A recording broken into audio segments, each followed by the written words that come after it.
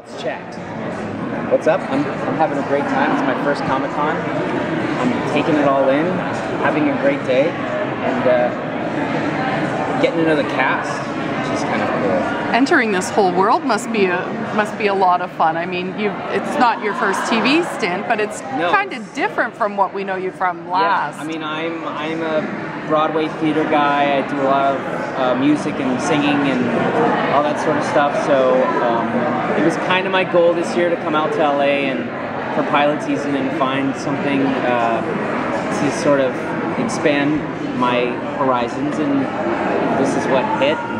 It's kind of a perfect fit for me, and I'm pumped. And people people would always ask me like before I got this, what's your like next? What what do you really want to do? I was like, well, I really want to be a superhero, but so we're we're, we're halfway there.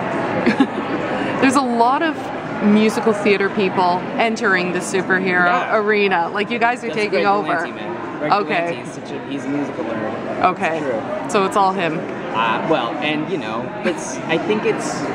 I think it's an underestimated world of actors that people sort of can sometimes brush aside, saying, "Oh, well, that's not real," or "That's not something that translates to other things." So, hopefully, we can prove them all wrong.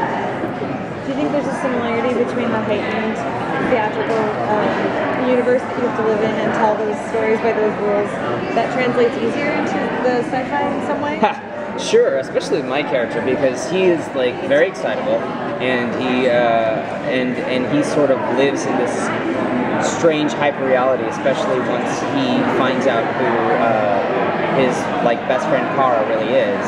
It's it becomes this sort of hyperbolic world all around him. So yeah, but I mean, you also have to find the grounded quality, the camera's you know like this. So if you're making too big of a face, it can uh, it can seem like much. But you know, for me, I'm still kind of learning and, and growing and finding all the different nuances that make film different than theater. So Derek, So your character, uh, Winslow, that's the same name as the villain Toyman. It is. Can you tell us anything about that? That's weird. I never heard of that before. That's strange. Huh. Revelation. no, uh, you know, as of as of now, we he shares a, a sa- the same name as a as a infamous villain from the uh, DC universe. Um, that's kind of all he shares at the moment. Uh, I think we're creating new and interesting origin stories for all of these characters, uh, including mine.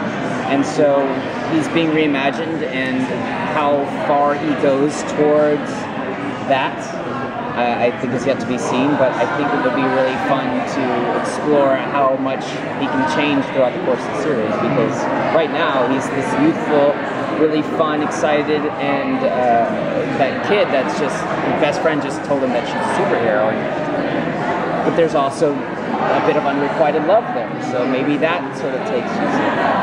Um, I'm just guessing. I have no idea. So I haven't told you much about Rose. No, they don't. I mean, I have like a couple ideas what might be happening in episode two, but that's very far from what that may be. So we'll see. All right, guys, that's all. Thank you. Thank you.